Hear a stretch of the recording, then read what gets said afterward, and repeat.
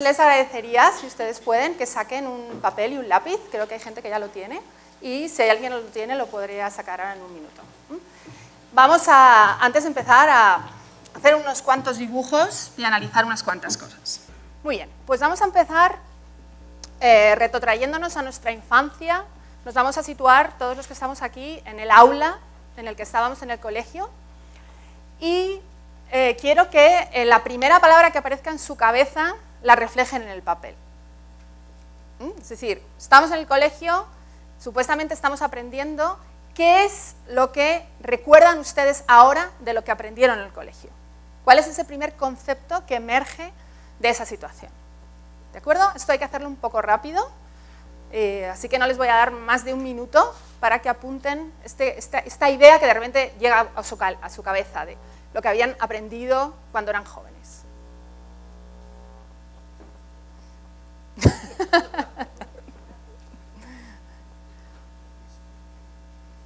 ¿Ya está? ¿Sí? Seguro que ha sido súper rápido. Bien, uh, segundo tema que vamos a hablar hoy, esta es una, eso es muy rápido porque sé que muchos de ustedes van a contestar lo mismo. La pregunta es, ¿recuerdan si tenían libertad en clase? ¿Sí? ¿No? A veces. Más bien poco. Ya está, ¿no? Esta es muy fácil.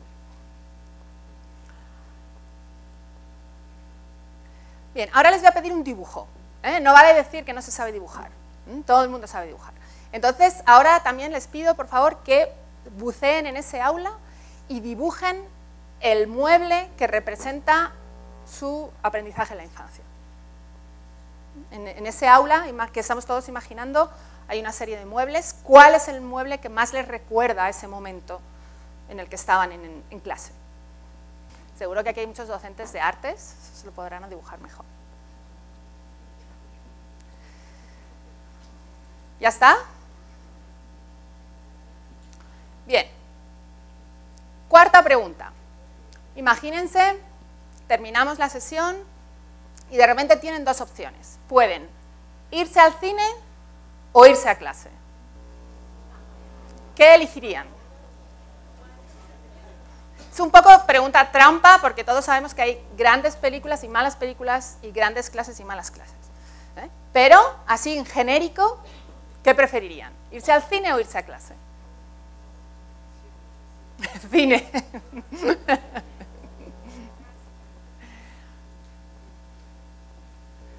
¿Ya está? ¿Sí? Bien. Y ahora, por último, el último ejercicio que vamos a hacer antes de comenzar es que también apunten en ese papel lo que les sugiere el término examen. Ya todo el mundo se ha quejado. ¿eh? Esa queja es lo que hay que poner en el papel. Si hay alguien, algún, algún empollón o alguna empollona que les gustase ir al examen, ¿eh? lo puede poner, pero seguro que es la excepción.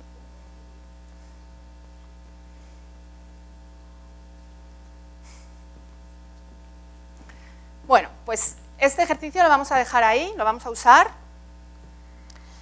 Y antes de empezar a hablar de Revolution, quería un poco em, ampliar la biografía que ha hecho Guillermo, que la, verdad es que la ha hecho muy bien, pero quería eh, explicar algunas cosas para que muchos de ustedes entiendan por qué estoy aquí y además también porque me parece muy importante eh, que entiendan que lo que yo les voy a contar que ustedes hagan, lo hago yo también porque eso no al día, si yo eh, dijese a todo el mundo que hiciese en educación disruptiva en sus aulas, pero yo como profesora siguiese haciendo lecciones magistrales.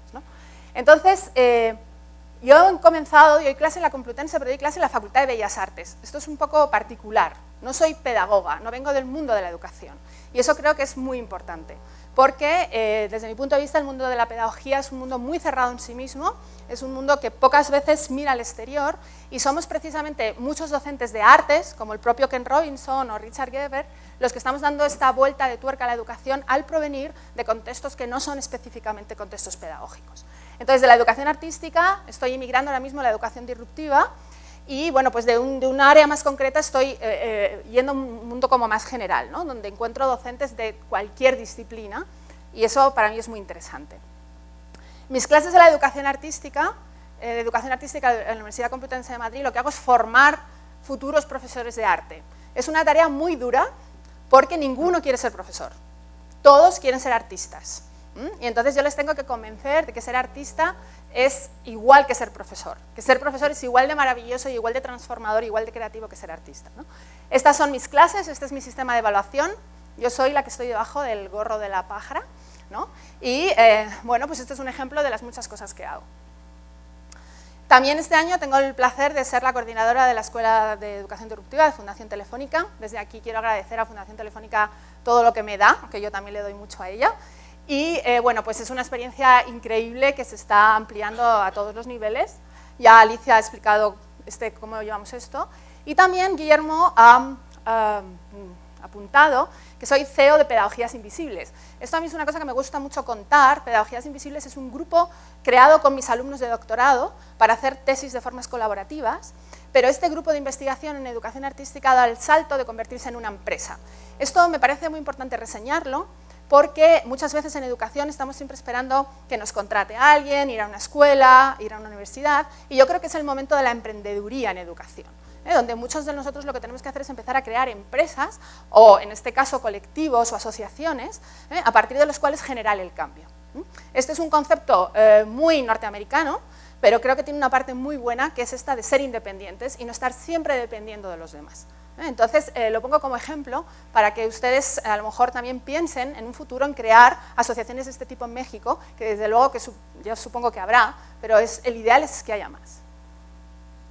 Bueno, estos son algunos de los ejemplos de los cursos que estoy últimamente dando eh, a nivel nacional e internacional. Por ejemplo, en metamorfosis de transmisión de contenidos arquitecto de experiencias. Mi vida cada vez se convierte más en, lugares a los que voy e intento empoderar al público para que genere la transformación social en el aula.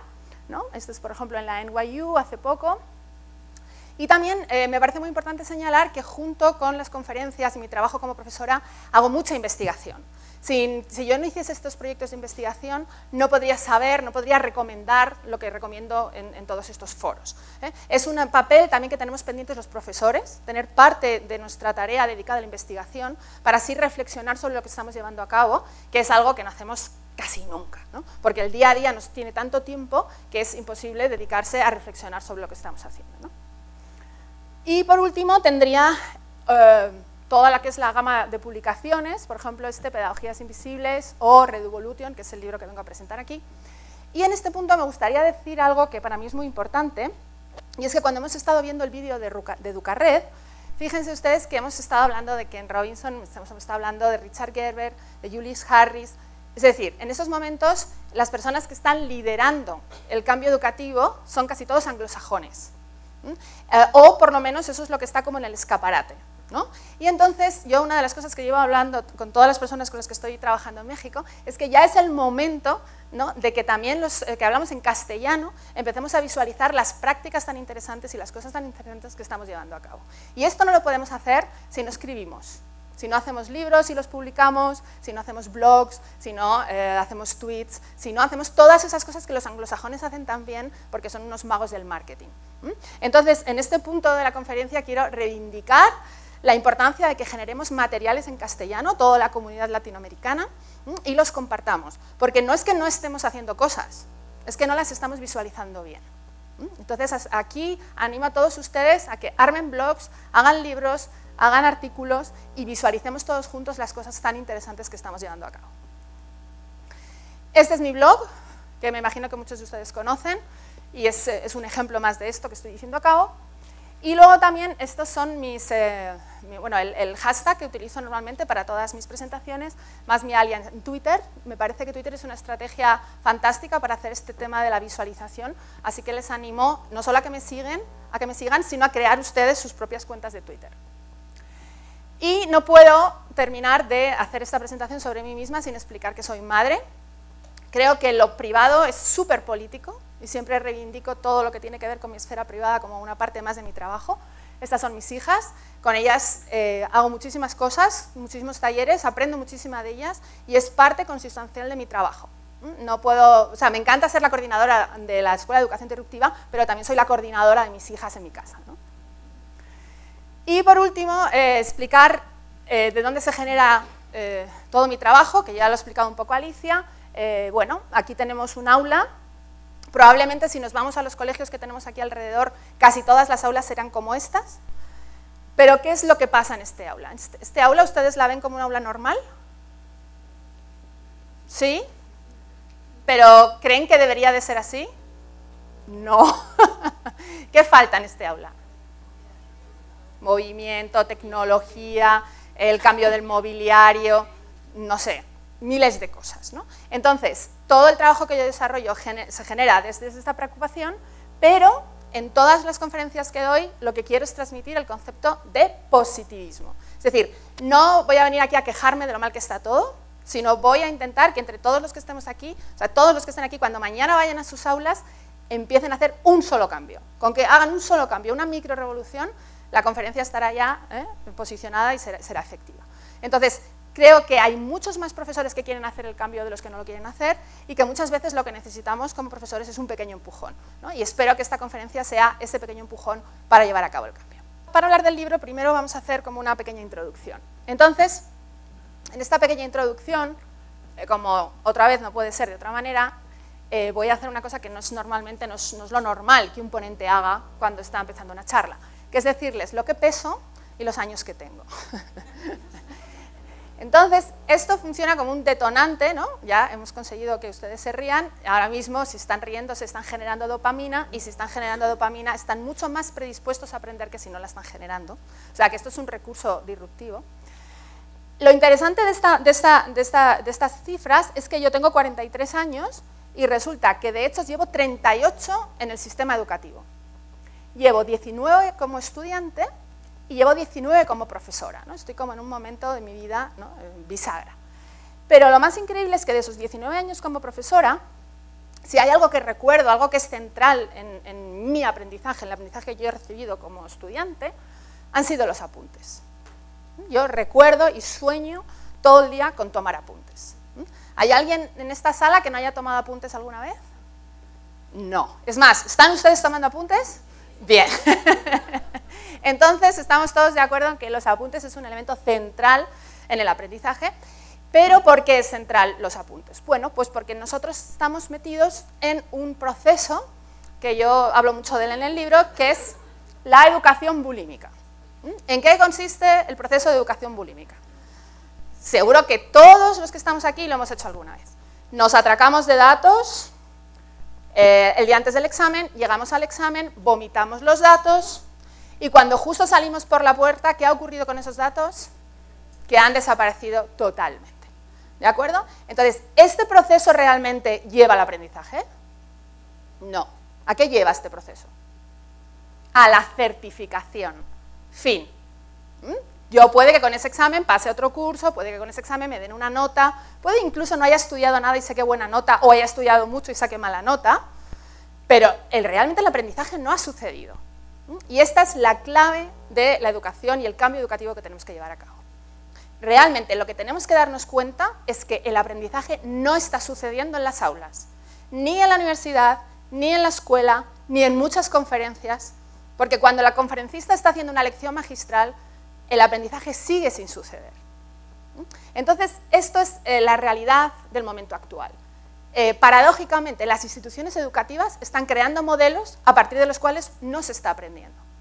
Puede que nos estemos certificando, un montón de cosas, pero aprender, que es el objetivo principal, no está ocurriendo. Y además ocurre algo que desde mi punto de vista es terrible, y es que precisamente la principal institución educativa, que es la escuela, está matando la pasión por el aprendizaje. Para mí esto es el gran drama del momento actual. Nosotros vemos a, nuestros hijos, a nuestros niños que van a la escuela cuando son pequeños con ganas, cada vez tienen menos ganas y de repente cuando empiezan a tener ya 10, 11 años, yo lo veo por mi hija, dejan de tener ganas de ir a la escuela. ¿Eh? ¿Cómo puede ser que esa institución vaya matando esa pasión que tenemos todos de forma innata por aprender. esta es la gran paradoja del momento actual que estamos viviendo. Este es un concepto que retrata muy bien un artista, a mí me gusta mucho ilustrar con artistas los conceptos de los que hablo, y este artista que se llama Hicham Benahoub tiene esta, esta imagen maravillosa, que es un poco fuerte, pero representa muy bien ese asesinato o ese suicidio del conocimiento en las aulas.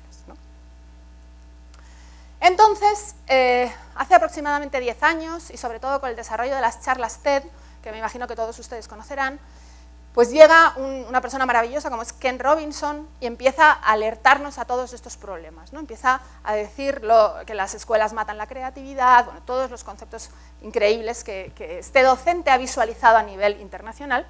Pero lo que ocurre con, Ken, Ken Robinson, o por lo menos me ocurre a mí, es que cuando yo veo una conferencia suya me entran ganas corriendo de hacer cosas, pero no sé muy bien cómo llevarlo a cabo. ¿no? Entonces, eh, yo con el libro de Redevolution lo que he intentado es trabajar cinco pasos para que cualquier docente que quiere llevar esta revolución a la aula pueda llevarlo a cabo. Esta revolución, y esto es muy importante que lo tengamos claro, ya no tiene que ver con la brecha tecnológica. Hasta hace muy poco tiempo, todo lo que se identificaba con innovación educativa en educación era tecnología. Pero lo que nos tenemos que dar cuenta de que lo que tenemos que trabajar es la brecha metodológica. Por esto esta conferencia se llama Dejemos el qué y pasemos al cómo. Ya no es importante trabajar los contenidos en educación, porque ¿dónde están los contenidos? Están en Internet, ¿no? ¿Quién es realmente la profesora en estos momentos que tiene que ver con los contenidos? Mrs. Google, ¿no? ¿Eh? Y entonces, con respecto a los contenidos, pues esto es tema de otra conferencia, pero quiero dejarlo claro, con respecto a los contenidos tenemos que enseñar a nuestros estudiantes a ser curadores críticos. ¿Mm? Más que darles los contenidos, tenemos que enseñarles a que elijan bien los contenidos, sean capaces de hacer una curaduría crítica. ¿Vale? Y este es un problema, el tema de cómo les enseñamos a curar los contenidos. Pero el principal problema es cómo acceden a esos contenidos, cómo los trabajan, cómo los interiorizan, cómo los procesan. Por lo tanto, como antes ha hablado Alicia, las energías en este momento para un profesor no solamente tienen que estar puestas en lo que vamos a transmitir, que eso ya está en Google, sino en la arquitectura de su transmisión. ¿Qué elementos vamos a jugar, qué elementos vamos a combinar para que una clase sea diferente, para que una clase sea motivadora, para que una clase realmente llegue al aprendizaje? Y esta es la brecha metodológica. Eso es realmente el problema que tenemos como profesores en el siglo que viene. Ya no sirve la lección magistral, por lo tanto tenemos que crear otras metodologías. Y esto también es muy importante, tener en cuenta que esas metodologías van a estar cambiando continuamente. No podremos elegir una y usarla durante 10 años, porque a los 6 meses saldrá una nueva red social y ya no podremos usar esa metodología. Entonces, toda gira en torno a este tema, no solo cambiar el qué, sino cambiar el cómo, no solo cambiar los contenidos, sino cambiar los formatos. Y aquí es donde están esos cinco empujones que vamos a analizar brevemente para que mañana los pongan en funcionamiento en el aula. Vamos a empezar con el punto número uno.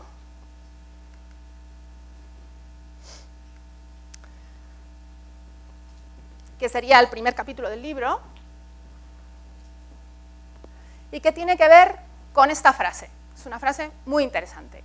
Lo que los profesores enseñamos no es lo que los alumnos aprenden. ¿Están ustedes de acuerdo con esto? Bien, entonces, ¿por qué hay esa obsesión de que nosotros, lo que nosotros enseñamos sea exactamente lo que los alumnos aprenden? ¿No? O sea, en los exámenes lo que fomentan es justo lo contrario de lo que dice esta frase. Bueno, pues esto ocurre porque nadie acepta que el aprendizaje es cosa de tres. Es decir, el aprendizaje tiene que ver con tres agentes, que son el profesor, el estudiante y su inconsciente. El inconsciente del profesor y el inconsciente del estudiante. De tal manera que lo que yo ahora mismo les estoy contando a ustedes, cada uno de ustedes con su contexto, su biografía y su creatividad, lo van a elaborar de forma completamente diferente. Y cuando se vayan de esta sala, tendríamos 100 discursos diferentes sobre lo que ha ocurrido aquí.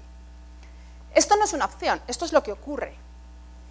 Por lo tanto, tenemos que aceptar que el inconsciente es el tercer participante del acto pedagógico. Vamos a comprobar cómo eso es verdad, porque quiero que algunos de ustedes me digan qué apuntaron en la primera pregunta.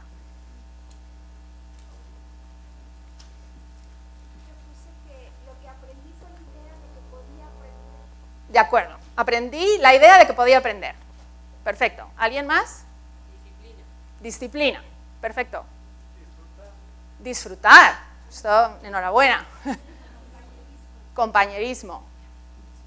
Experiencias. Socialización. ¿Alguien aprendió a sumar?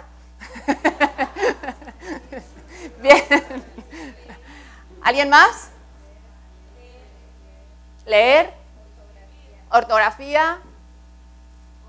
Bordar. Dos más y ya. Acallar, deportes, poesía, dibujar. Fíjense lo increíble que nadie ha aprendido lo mismo en el colegio. O sea, cuando hago, cuando hago este ejercicio, nunca nadie ha aprendido lo mismo. Es verdaderamente alucinante. Entonces, ¿cómo podemos seguir excluyendo el inconsciente del hecho educativo? Esto es muy importante. ¿Por qué esto es tan importante y por qué tenemos que aceptarlo? Porque una cosa es la información y otra cosa es el conocimiento. Y el conocimiento solo se genera a través de redes individuales, propias y biográficas.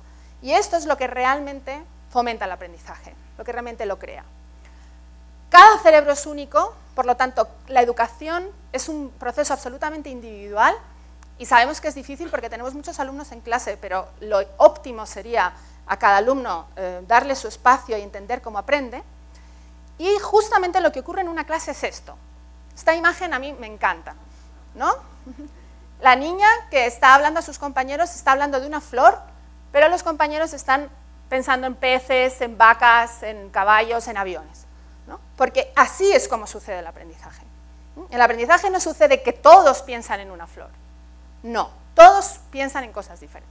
Entonces, este es un concepto importantísimo para empezar a hacer la revolución, porque como profesores nos relaja y nos distiende. Y no tenemos que estar siempre controlando a través de los apuntes fundamentalmente y los exámenes que lo que nosotros enseñamos sea exactamente lo que nuestros alumnos aprenden. Esta es una idea muy, muy importante, es un concepto genérico, pero es un concepto que cuando como profesores realmente lo interiorizamos, cambia por completo el proceso educativo que estamos llevando a cabo. Otra cosa muy importante relacionada con el inconsciente es aceptar las pedagogías invisibles. Esto daría para otra charla de dos horas. ¿Qué es las pedagogías invisibles? Pues todo aquello que aprendemos de forma no explícita en los contextos educativos. Nuestros alumnos aprenden mucho más de cómo tenemos organizado el mobiliario, de nuestro tono, de qué luz hay en el aula, que realmente de los contenidos que les estamos dando. Y entonces aquí aparece algo muy, muy importante, que está relacionado con todo esto que estamos viendo, que es el concepto de violencia simbólica. Fíjense bien en estas dos sillas. ¿Cuál creen que es la silla del maestro? ¿Por qué lo saben tan bien? Porque las pedagogías invisibles de la silla les están diciendo quién es el maestro y quién es el alumno. Pero ahora vamos a analizarlo brevemente. ¿Qué ocurre con la silla del maestro? ¿Cómo es? Más cómoda. Eso es increíble. es más cómoda que la de los estudiantes. ¿eh? Esto, ya es terrible. ¿Qué más? Más grande. ¿Qué más? Tiene un color negro, que es el respeto, que es el conocimiento. ¿no? En cambio, el, color verde de las sillas de los estudiantes, que es terrible, es un color que solamente se ha elegido para que la silla esté más limpia. El concepto tiene que ver con la limpieza y la durabilidad. Es diferente, es totalmente diferente, pero estas sillas están estableciendo una relación de poder. No solamente son unas sillas para sentarse, están estableciendo las jerarquías en el aula. ¿Eh? Por lo tanto, esto es un ejemplo muy bueno de cómo funciona la violencia simbólica. Como profesores, tenemos que ser, eh, estar súper atentos a estos tipos de cosas. Yo llego a mi clase y lo primero que hago es quitar esa silla. Porque si quiero trabajar de una manera más democrática, no puedo sentarme en esa posición de poder. Entonces ya les digo que este es un concepto muy interesante que daría mucho para hablar, pero está relacionado con todas estas cosas que estamos diciendo del inconsciente. Y eh, está especialmente relacionado con el mobiliario. Fíjense este ejemplo, es un ejemplo pues, de las miles de sillas que encuentro cuando voy a dar una conferencia, como en la que estamos aquí, pero yo siempre invito a los, a, los, talleristas a reflexionar sobre el espacio y cambiarlo. Este es el mismo espacio que este. ¿De acuerdo? Entonces, un profesor que sabe trabajar con las pedagogías invisibles es capaz de detectar las estructuras de poder, es capaz de analizarlas y lo más importante de todo, es capaz de transformarlas. ¿Vale? Entonces, este ejercicio de las pedagogías invisibles es otro elemento clave en el libro y en la generación de una educación diferente en el siglo XXI. Y por último, eh, la, el último capítulo, eh, la última parte del capítulo 1 habla del concepto pedagogía y verdad, que antes eh, Alicia se ha referido a él, que he oído unas risas, porque realmente es un concepto interesante, la del profesor como estafador. ¿Mm? ¿Por qué se creen que hablo del profesor como estafador? Porque realmente un profesor tiene la verdad o no. ¿Qué es lo que dice un profesor en su aula? Realmente. Hipótesis, pero hipótesis sobre su experiencia. Es decir, como profesores lo que nosotros estamos haciendo en clase es dar nuestra versión sobre la materia que impartimos. Y sería muy diferente dar historia si eres de profesor de derechas que si eres profesor de izquierdas, ¿no? Entonces, esta es otra de las cosas que hay que aceptar para dar clase en el siglo XXI. Aceptar que somos estafadores, en el sentido de lo que lo que estamos haciendo en una clase es dar nuestra versión sobre algo. Y esto ponerlo encima de la mesa. No está mal, pero esto no es la verdad absoluta. No lo es en absoluto. ¿De acuerdo? Entonces, este es un concepto muy interesante. Este es un concepto con el que hablamos eh, con Joan Foncuberta en la primera sesión de la, Escuela de Educación Disruptiva y Alicia se le ha olvidado decir una cosa muy importante y es que todas estas sesiones están en vídeo en la página de Fundación Telefónica. O sea que si quieren eh, adentrarse en este concepto y ver lo que hablé con, Joan Foncuberta, no hay, no hay más que meterse en la página de la Fundación y ver los vídeos. Vamos a ver el concepto número 2.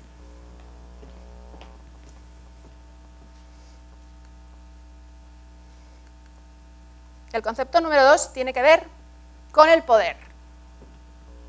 Porque, esto es también algo muy importante, no podemos engañarnos y ser profesor es un trabajo completamente político.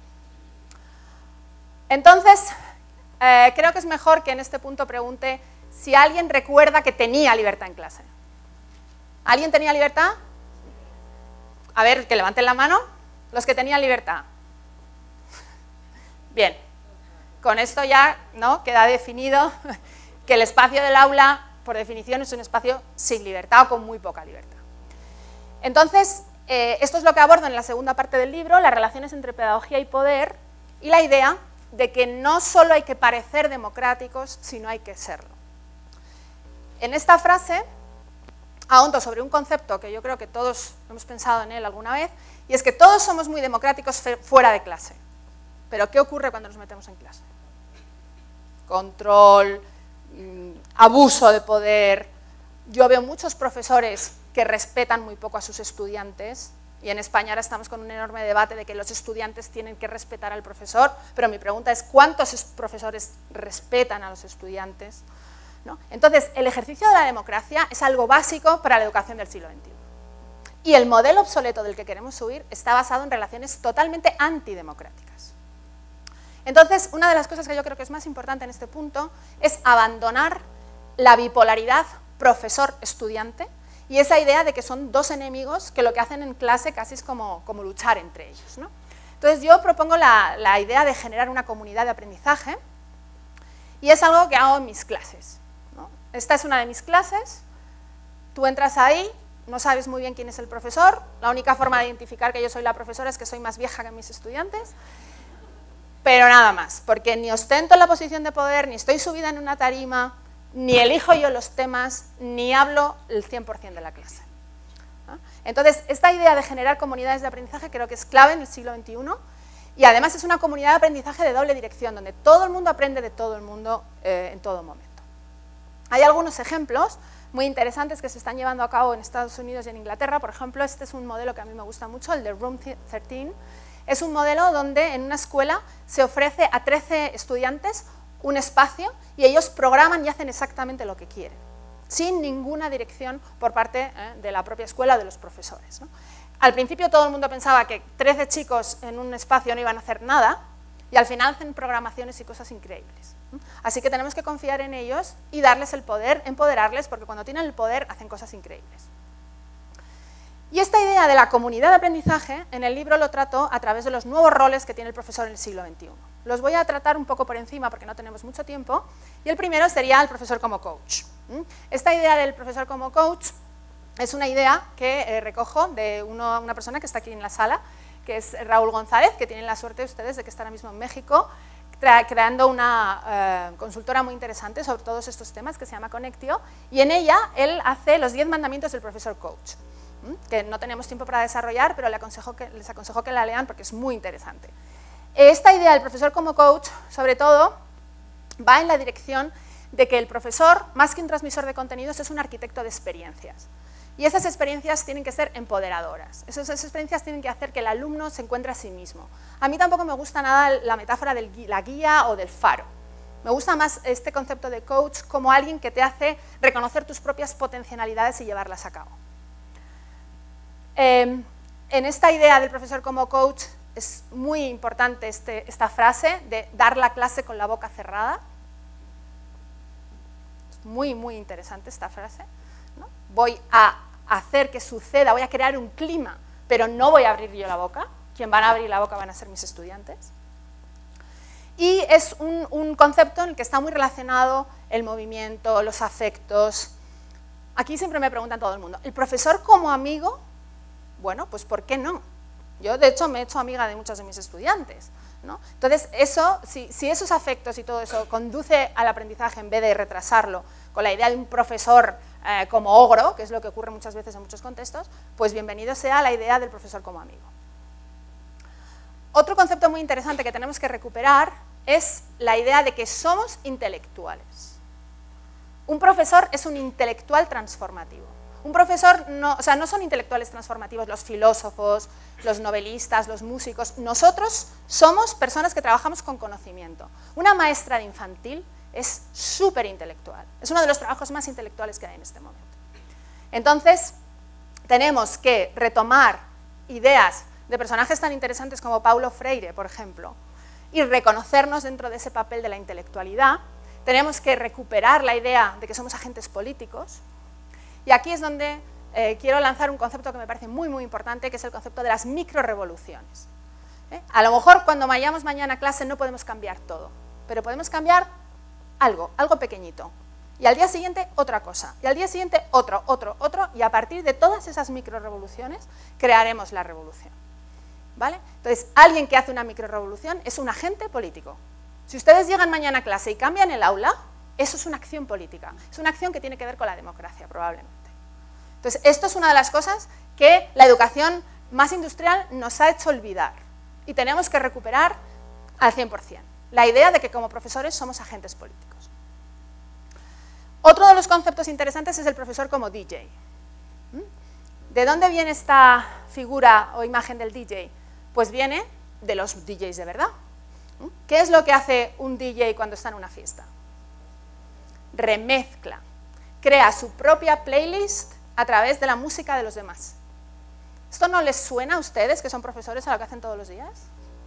¿No cogemos los contenidos de los demás, los remezclamos y creamos nuestro propio contenido en el aula? Por lo tanto, tenemos que entendernos como DJ, como productores culturales y aceptar algo muy importante, y es que remezclar no es copiar. Estamos en el momento de la remezcla. Y cuando yo creo un concepto nuevo a partir del concepto de otra persona, no lo estoy copiando, estoy generando. ¿Vale? Los profesores somos continuamente generadores. Y muchas veces se nos tacha de copiones. Bueno, pues no. En esos momentos lo que tenemos que reivindicar es que somos DJs ¿eh? y que entonces lo que hacemos en nuestra clase es generar nuestra playlist a partir de las ideas de los demás. Y una cosa más interesante aún, y es que los estudiantes también son DJs, porque también ellos remezclan su conocimiento a partir del que nosotros les ofrecemos en clase. Entonces, esta idea del, DJ me parece muy importante para entender cómo tiene que ser la educación del siglo XXI. También me interesa mucho la idea del profesor como hacker, la idea del profesor que hackea el aula y miente al inspector. Yo no sé si ustedes aquí en México tienen inspectores. Sí. Bueno, pues mm, esto puede parecer así bastante mm, raro, pero yo les animo a que mientan al inspector. Porque creo que hay que ser muy honesto como profesor, si nosotros estamos eh, totalmente convencidos de que queremos generar el cambio, tenemos que llevarlo a cabo y cerramos nuestra puerta y ahí no se entera nadie de lo que estamos haciendo. Entonces, esa idea de cerrar la puerta tiene que ver con hackear la institución, puede que la institución sea tradicional, pero yo no voy a serla, y cuando venga el inspector le voy a contar que estoy haciendo otra cosa, porque lo que yo, en lo que yo creo lo voy a hacer. Y además, tengo que decirles, que ya veo caras de preocupación, que Cuando hacemos esto, los alumnos están tan contentos, los alumnos aprenden tanto, que no ocurre nada. No hay quejas a la dirección, no hay quejas a los padres y no hay quejas en ningún sitio. Así que mi experiencia más eh, cercana es esta idea de que debemos de hackear la institución si no estamos de acuerdo con lo que la institución dice. Y por último, hay un rol que me parece fundamental, que es el rol del profesor como community manager. Eh, ya sabéis todos que un community manager es estas personas que dominan las redes sociales y visualizan conceptos, y esto es algo que los profesores tenemos que empezar a hacer. ¿Por qué? Porque tenemos que visualizar la comunidad de cambio. Yo estoy ya harta de ver profesores que me dicen, y es que soy el único en mi colegio que hace esto, soy el único en la universidad que hace esto, y hay mucha gente haciendo eso en muchos colegios. La única forma de visualizarnos es si hacemos grupos de Facebook, si comunicamos lo que hacemos por Twitter, si abrimos blogs, etcétera, etcétera, etcétera. Por lo tanto, la función del profesor como community manager es una extensión de ese profesor político que lo, que eh, lo que consigue es visualizar que el movimiento de revolución es un movimiento general, no es un movimiento puntual y aislado en un sitio. Así que ya saben lo que tienen que hacer. Cuando lleguen a sus clases, abrirse sus cuentas de Facebook y Twitter y decir a los demás, comentar a los demás lo que se está haciendo. De hecho, en Facebook se ha generado un grupo que se llama Revolution y en ese grupo eh, lo que se está contando son todos los profesores que están haciendo estas prácticas, las están subiendo al grupo. ¿eh? Yo les animo a que lo vean y si también tienen experiencias interesantes, las pongan en el grupo para que veamos que somos muchos más de los que creemos. Dentro de esta idea del poder, también creo que es muy importante que aprendamos a algo muy, muy raro para lo que es la educación tradicional, y es que aprendamos de nuestros estudiantes. Es este concepto, el concepto reverse mentoring. En el siglo XXI, en la comunidad de aprendizaje, la educación no se dará solamente en la dirección profesor-estudiante, sino que se dará en la, dirección también estudiante-profesor. Y de hecho es una de las cosas más gratificantes que todos ustedes habrán alguna vez experimentado, aprender de tus alumnos. Esto que está muy sepultado en la educación tradicional es algo que hay que poner de manifiesto en la educación que estamos creando. Y por último, en este punto, no quería eh, dejar de dar esta conferencia sin hablar del edupunk. No sé si algunos de ustedes han, hablado, han visto ya este término. Es un término que se genera en el año 2008 eh, de la parte de Jim Groom, que es un teórico tecnológico norteamericano. Y eh, bueno, es una etiqueta a partir de la cual se visualiza todas las metodologías disruptivas que se están llevando a cabo en muchos lugares. ¿Eh? Yo creo que lo que hace muy bien la educación tradicional es que se identifica muy bien, ¿no? todos sabemos qué tenemos que hacer dentro de la educación tradicional, pero cuando queremos hacer pedagogías alternativas nos perdemos porque no visualizamos bien qué es lo que hay que hacer ni sabemos los nombres. Entonces, para mí el valor que tiene el EduPunk es que cuando yo digo que hago EduPunk ya todo el mundo se entera de lo que estoy haciendo. ¿vale? Del EduPunk no hay libros, no hay cursos, no hay manuales, no hay unidades didácticas. Del EduPunk lo que hay es las teorías desarrolladas por diferentes expertos, entre ellos Alejandro Piscitelli, que es un teórico argentino, que desarrolla en este maravilloso libro, eh, que para mí fue uno de los libros que más me ha hecho cambiar mi manera de pensar y que tienen todos disponible gratis en la, web, producido por Fundación Telefónica España. Y en ese libro, eh, sobre todo, se habla del manifiesto de Dupunk.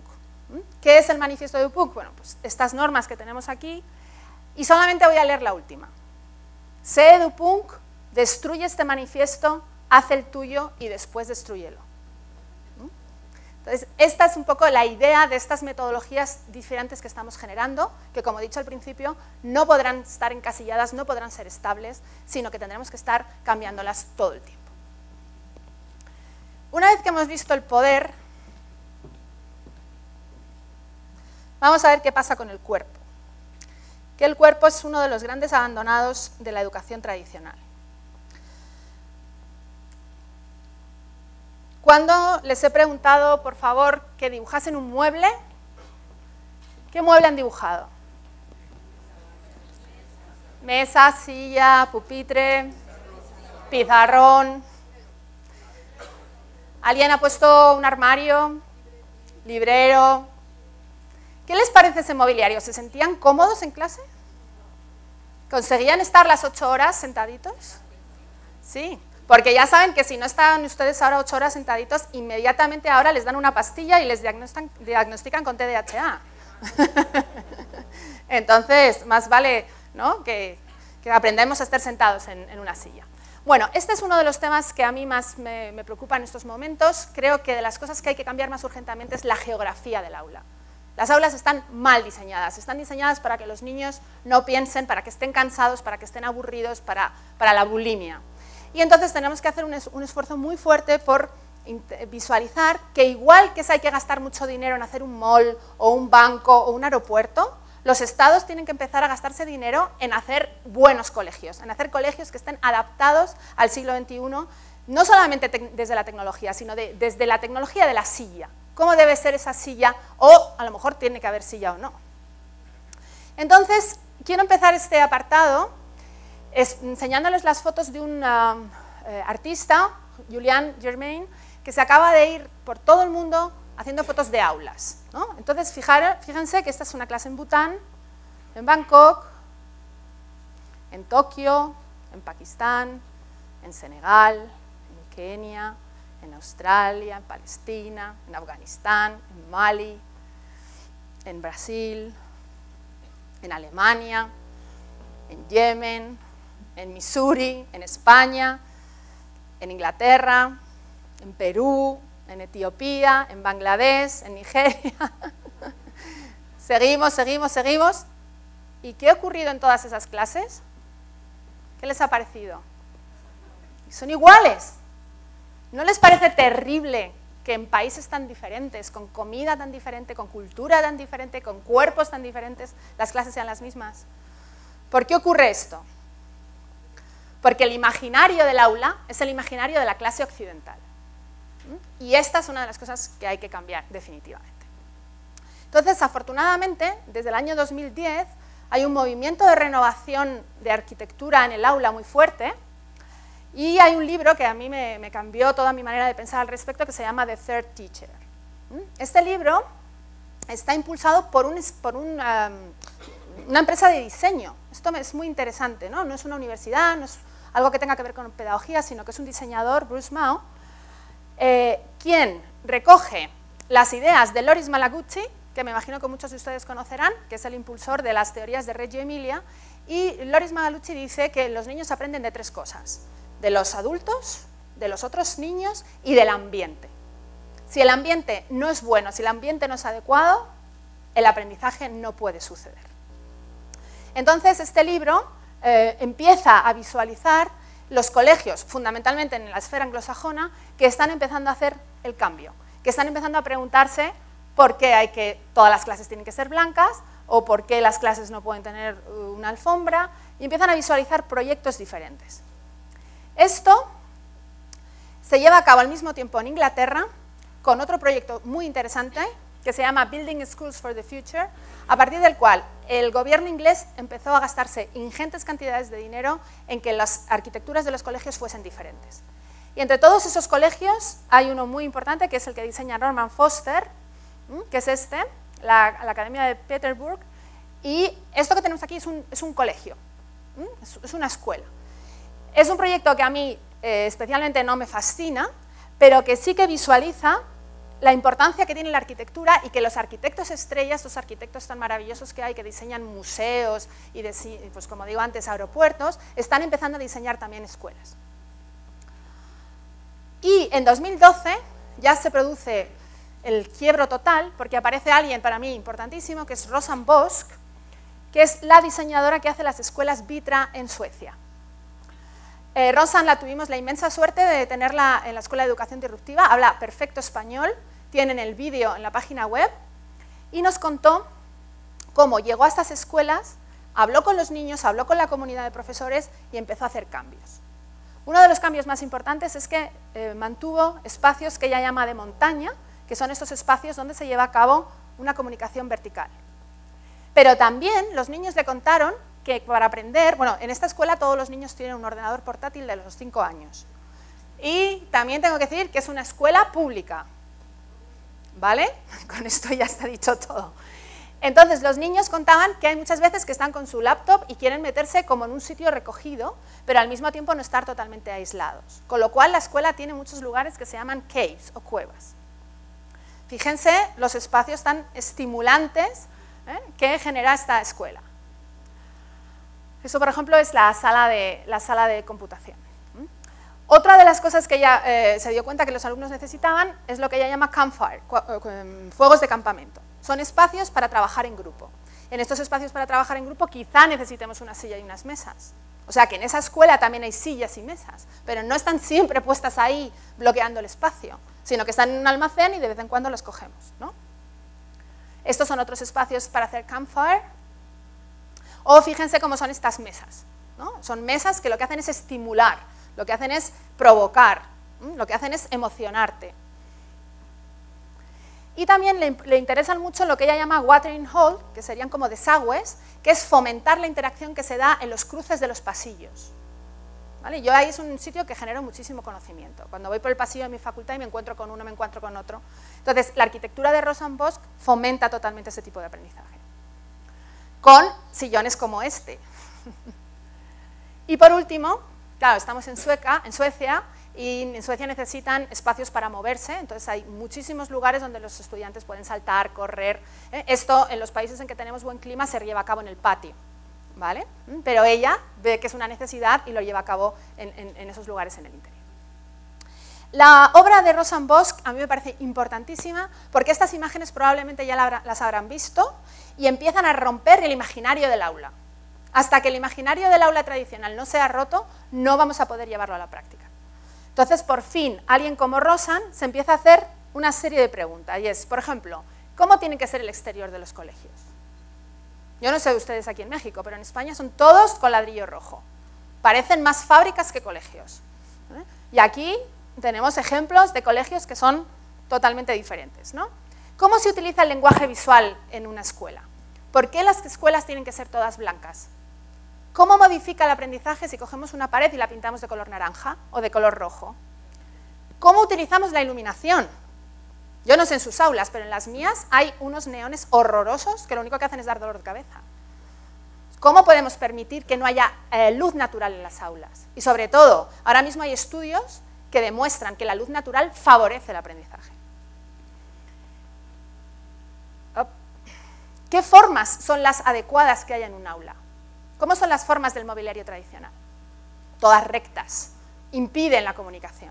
Y lo que está haciendo Rosan Bosch son todo formas orgánicas. Fíjense, esto es un college diseñado por ella. ¿Mm? ¿Qué estructuras tiene que haber en una clase que no usamos? ¿Cómo tiene que ser el techo? ¿Cómo tiene que ser el suelo? ¿Eh? En los colegios Montessori el, el suelo es un elemento fundamental. ¿Por qué en otras escuelas no se utiliza el suelo? ¿Qué ocurre con las paredes, con las puertas? A mí las puertas me parecen una herramienta pedagógica fascinante, porque son las que regulan quién está dentro, quién no, quién puede abrir una puerta. ¿Cuántos de ustedes han aguantado ir al baño porque no se podía abrir la puerta? Entonces, reflexionar sobre la puerta es muy importante. ¿Cómo son las estanterías? Yo en mi clase no tengo estanterías, hago las estanterías con sillas. Y este es un ejemplo que me ha llegado antes de ayer de las cosas tan alucinantes que se pueden hacer con almohadones. Es decir, todo lo que estoy diciendo, evidentemente, se necesita de un coste, pero hay muchas cosas que se pueden hacer sin coste alguno. Y es más, con el mismo coste se pueden hacer cosas horrorosas o cosas súper interesantes. ¿Vale? Entonces, cuando hablamos de geografía del aula, no nos pensemos que Rosenbosch es carísima y que solamente se puede hacer eso cuando tenemos mucha plata. ¿no? Se puede hacer cuando tenemos poca plata también. Entonces, todo el tema del mobiliario, por ejemplo, yo es una cosa que trabajo mucho en mi clase. Mi clase es esta, es una clase horrorosa. Como estoy en la universidad pública, no tengo plata para hacer nada. Y los alumnos quisieron un sofá. Y yo les dije, muy bien, pues hagan el sofá. ¿Eh? Como es la Facultad de Bellas Artes, salieron, se encontraron estas especies de tostadas gigantes hechas con foam y crearon su sofá. Movemos las sillas todos los días, las mesas. Esto, por ejemplo, es una clase en la que el mobiliario lo utilizamos enfrentándonos porque se trabajaba con dos conceptos diferentes, educación y arte. Entonces, todos los días llegamos y hacemos alguna cosa eh, disruptiva. Esto, por ejemplo, es mi mesa, que la transformaron en un sofá. Entonces, con un mobiliario muy precario, realmente, siendo creativos, se pueden hacer cosas muy interesantes. En esta parte del cuerpo aparte del mobiliario, también quería hablar brevemente del tiempo. Yo no sé cuánto dura una clase en México. 40 50 minutos. ¿Con eso se logra hacer algo? No. Entonces, el tema del tiempo es muy importante y yo animo siempre a trabajar con el concepto Slow Education.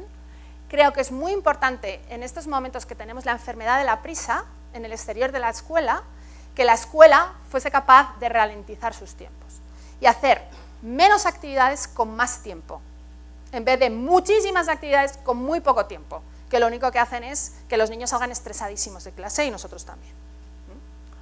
Entonces, este es un concepto con respecto al tiempo. Y otro concepto interesantísimo que tenemos que reivindicar sí o sí es el tema de los afectos, ¿eh? lo que yo llamo love education, y que está muy relacionado con el concepto neuroeducación. Aquí tienen otro vídeo muy interesante, ¿eh? que lo pueden encontrar en la web de Fundación Telefónica. Eh, en este libro, Paco Mora dice que solo se aprende lo que se ama. Y es verdad, eso no hace falta que lo diga nadie. Porque solamente el aprendizaje sucede cuando está vinculado con una emoción. Entonces, otra de las cosas que tenemos que incorporar en el aula es la emoción. Tenemos que incentivar la creación de dopamina. ¿Cuándo se genera dopamina? Cuando sentimos placer. Y esto es lo que ocurre con los videojuegos. Por eso nuestros alumnos quieren jugar a videojuegos. Porque están empoderados, porque están disfrutando, porque se sienten retados. Entonces aquí surge una tendencia que seguramente muchos de ustedes han ido a hablar de ella, que es la gamificación. ¿eh? La educación gamificada lo que pretende es llevar las dinámicas de juego al aula y incorporar en el aula todos aquellos sucesos que ocurren cuando los niños están jugando. Pero vamos, la clave es la generación de dopamina. ¿eh? Si no generamos dopamina, nadie aprenderá. Bien, vamos a ir ya terminando, vamos a ver el concepto 4, que tiene que ver con la experiencia. Yo no sé si voy bien de tiempo. Me quedan 10 minutos. ah, 15, bien. Bueno, visto el inconsciente, el poder y el cuerpo, el cuarto mm, concepto del libro habla de la experiencia. Y entonces aquí me gustaría saber qué han contestado. ¿Prefieren ir a clase o ir al cine?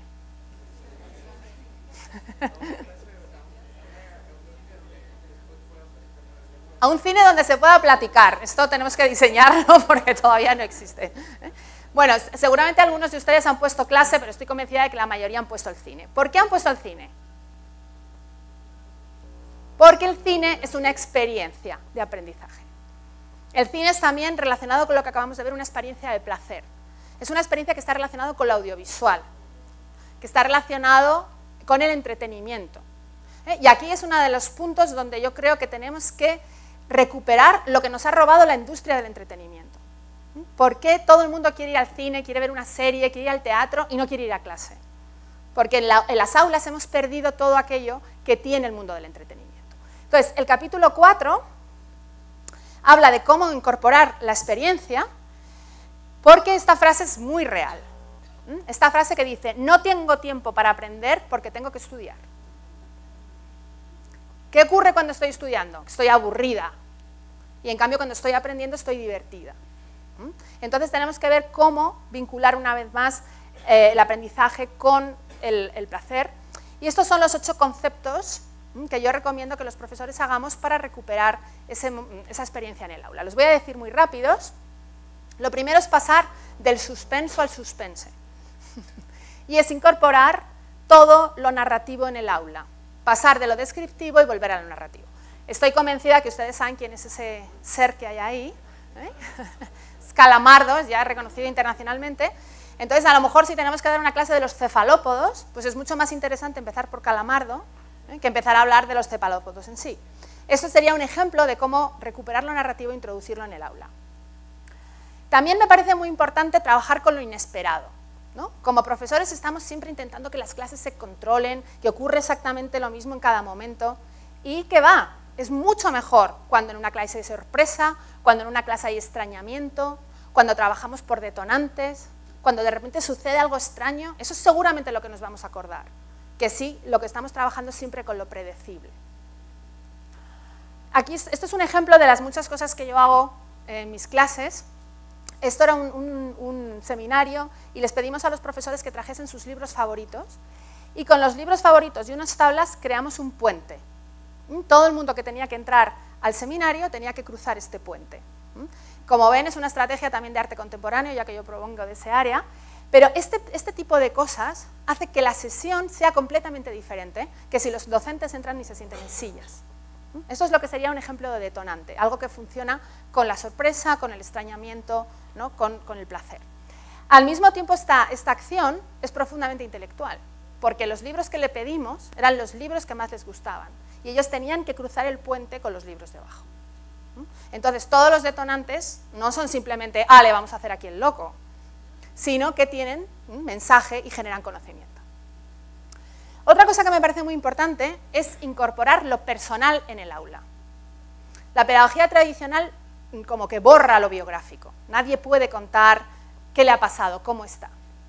Entonces aquí hay un ejemplo maravilloso de una profesora de secundaria que crea una serie de proyectos con sus alumnos y aquí tenéis la obra de Iván, de cuarto de la ESO, tiene 15 años, y hace una serie fotográfica que se llama Sitios en los que he hecho el amor.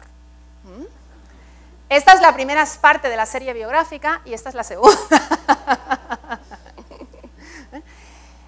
¿Por qué traigo este proyecto? Aparte de porque ya nos estamos riendo, ya se incorporó la sorpresa, ya se incorporó los afectos, porque esto dio pie en clase a hablar sobre un tema muy importante de los adolescentes, que es la sexualidad. Y sobre todo a reflexionar sobre las masculinidades. ¿Era realmente real que Iván hizo el amor en todos estos sitios o se estaba tirando un farol? ¿no?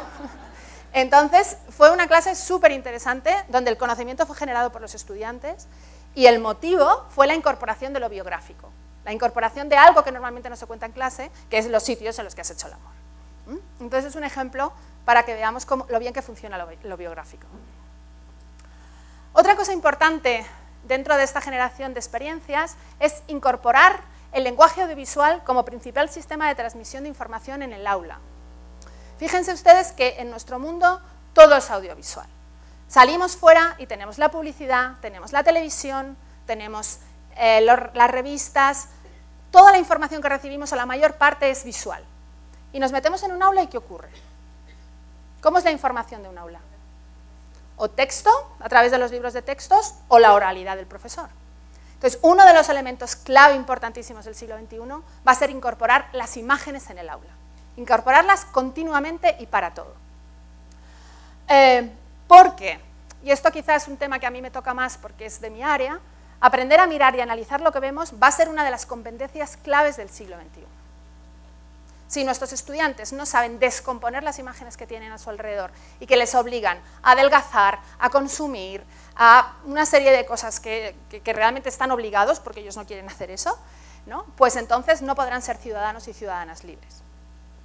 Con respecto a las imágenes, aquí lo voy a hacer muy rápido, pero creo que tenemos que introducir sí o sí la cultura visual en el aula. Aquí tenemos una imagen súper potente que ha influenciado muchísimo las vidas de todas las mujeres que estamos aquí. Y no solo de las mujeres, sino de los hombres, porque a los hombres les enseñan a desear un tipo de mujer específico. Y cuando estamos hablando de Disney, no estamos hablando de entretenimiento, estamos hablando de poder, de pedagogía, de filosofía y de política. Entonces, introducir estas, imágenes en el aula es fundamental y enseñar a nuestros alumnos a analizarlas. Del mismo motivo, del mismo modo, bueno, aquí tenemos otras cosas de Disney que ahora no tenemos tiempo de analizar, que es importantísimo incorporar el grupo de imágenes que luchan contra estas otras imágenes, que es el arte contemporáneo. Entonces aquí, por ejemplo, les invito a descubrir a Dina Goldstein, que es una de mis artistas favoritas, que tiene esta serie maravillosa, Fallen Princess, y en esa serie lo que hace es representar cómo están las princesas Disney 10 años después. Y entonces aquí tienen a Blancanieves con cuatro niños, el príncipe ya no le hace mucho caso, le gusta más ver las carreras de caballos en la televisión, el palacio está sin recoger, y claro, lo de fueron felices y comieron perdices, pues todos sabemos que es una mentira. ¿no? Entonces, eh, este trabajo entre dos tipos de imágenes, las imágenes que nos cuentan las mentiras y las imágenes que nos hacen reflexionar sobre esas mentiras, me parece que es algo de lo que también tenemos que incorporar como profesores del siglo XXI.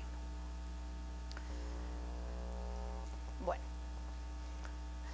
entonces, eh, para mí, el arte contemporáneo es un elemento clave en el aula, es importantísimo incorporarlo como contenido, pero también yo les animo a que lo incorporen como formato. Esto es, por ejemplo, una instalación creada por este artista profesor Jordi Canudas, y todo lo que tiene que ver con videoarte, fotografía, instalación, performance, son mecanismos pedagógicos muy potentes que cuando los introducimos en el aula funcionan muy bien. Para terminar esta parte, simplemente decirles que también es muy importante pasar de memorizar a hacer, la educación tradicional está basada en la memoria y tenemos que empezar a trabajar por proyectos. Esto, es, una de las cosas que están más visualizadas y yo sé que ya hay muchos trabajos que están trabajando, muchos profesores que están trabajando proyectos en esta dirección. Este, por ejemplo, es un proyecto que yo hice en colaboración con un museo.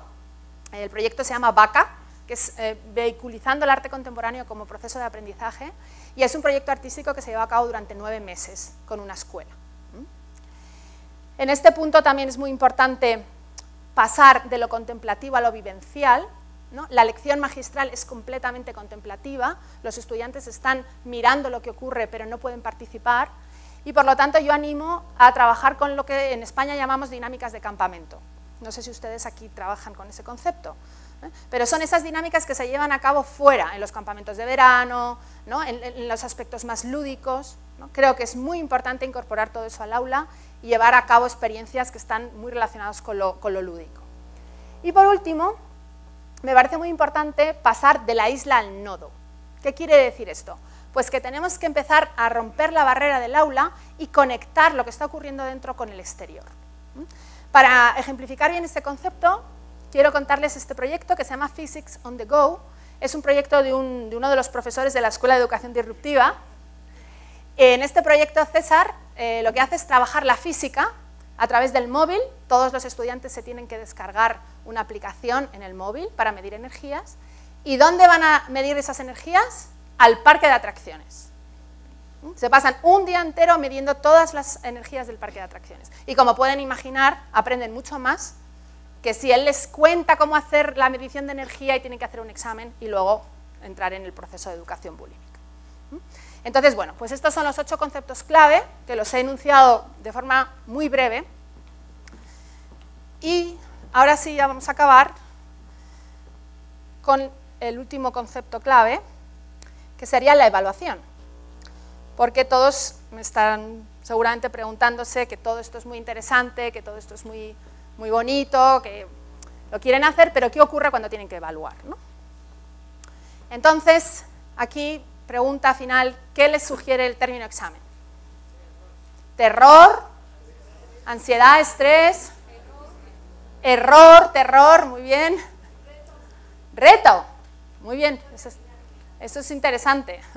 Pero reto es uno frente a todo lo demás. Problema. No sé, yo tengo, yo tengo una amiga que la pobre sueña que, que tiene que hacer un examen y se muere y no puede hacerlo. ¿Perdona? Exactamente, eso también es un examen. Bueno, en líneas generales, yo creo que estamos todos de acuerdo que el examen no sirve para nada, más que para generar horror. ¿no? Entonces, el último capítulo del libro reflexiona sobre estos conceptos y sobre todo sobre algo que a mí me parece muy obvio, y es que tenemos que pasar de una educación basada en la evaluación a una educación basada en el aprendizaje. O sea, es una realidad que nuestro sistema educativo no está basado en el aprendizaje, está basado en la certificación, en los procesos de evaluación. Entonces yo aquí coincido totalmente con Roger Swan, que la evaluación mata la educación. Creo que la base de que esto no funciona es que la objetividad es imposible. Y si nosotros ahora mismo hiciésemos un examen aquí, todo el mundo evaluaría de una forma diferente ese mismo examen, por lo tanto los exámenes no sirven para nada. Y yo creo que es muy importante tener en cuenta esta frase. Si no podemos ser objetivos, por lo menos seamos honestos. ¿Mm? Las ideas básicas con respecto a la evaluación que propongo en el libro es que hay que descentrar y relajar. Yo, por ejemplo, con mis alumnos no hago nunca exámenes, hago esto que se llama Evaluparty, y vamos todos y comemos y bailamos y disfrutamos. este es un proceso, una entrevista que hago con mis alumnos.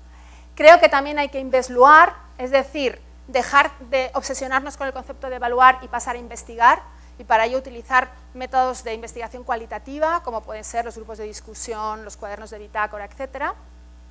Y por último, a mí me gusta mucho el concepto de evaluación creativa. Es decir, ¿por qué siempre tenemos que evaluar con números? ¿No se puede representar el aprendizaje de otra forma? Y en la última sesión de la, de la Escuela de Educación Disruptiva, en el taller, los profesores llegaron y se encontraron cinco cajas.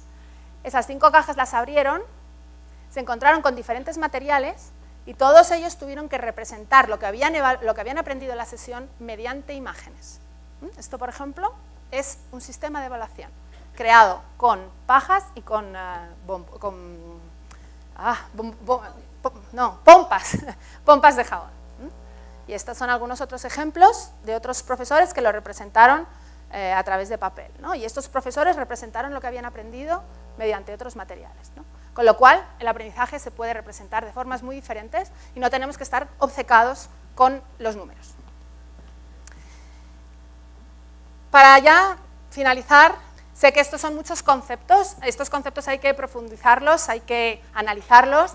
Eh, no sé si está por aquí la gente de Planeta México, pero espero que tengan el compromiso de publicar el libro en México, que todavía no está publicado, pero yo creo que se publicará en breve.